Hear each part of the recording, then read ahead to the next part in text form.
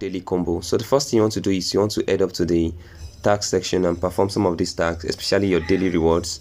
Make sure you click on the daily login rewards and click on claim. Then we head back to the study tab where we'll be picking our combo cards one after the other. So the very first card for today is gas which is under terms and jargon. So we head down here and we locate gas okay?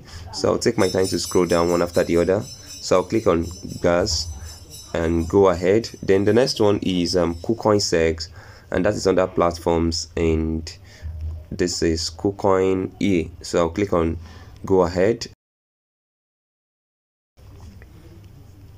All right so the last one is roadmap which is under terms and jargon and i'm going to look for that under this section and that is okay let's just scroll down a bit. Okay so this is this.